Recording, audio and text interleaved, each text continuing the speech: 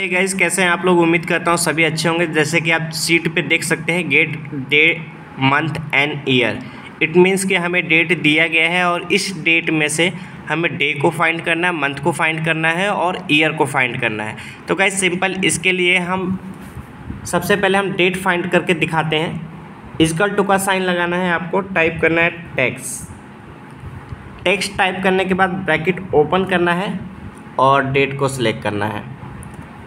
Coma लगाना है inverted comma open करना है और फोर टाइम डी टाइप करना है क्योंकि हमें डेट निकालना है। Inverted comma close bracket close और देन एंटर जैसे एंटर करेंगे डेट फाइंड हो जाए सॉरी डे फाइंड हो जाएगा।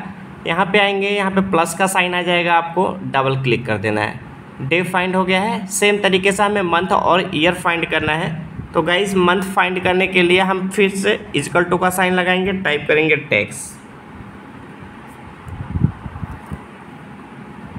ब्रैकेट ओपन करेंगे, डेट सेलेक्ट करेंगे, कोमा लगाएँगे इन्वर्टेड कोमा ओपन करेंगे, फोर टाइम एम टाइप करेंगे, क्योंकि मंथ फाइंड करना है। Inverted comma close bracket close enter month भी फाइंड हो गया है, यहाँ पे आएँगे डबल क्लिक करेंगे।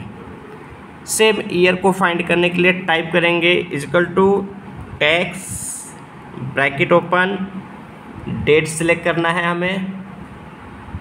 और डेट सेलेक्ट करने के बाद कोमा लगाना है इन्वर्टेड कोमा ओपन करना है। जैसे मैंने आपको बताया ईयर निकालना है तो ईयर के लिए फोर टाइम वाई और उसके बाद inverted comma close bracket close enter जैसे एंटर करते हैं, यहाँ पे आएँगे डबल क्लिक तो देखिए, इस वीडियो में हम ये फाइंड कर लिए कि इस डेट में से डे मंथ और ईयर हमने तीन चीज़ें फाइंड किया। वीडियो अच्छी लगी हो लाइक करें सब्सक्राइब करें और ऐसी ही यूनिक ट्रिक्स के लिए लाइक करना ना भूलें और सब्सक्राइब करना ना भूलें। Thank you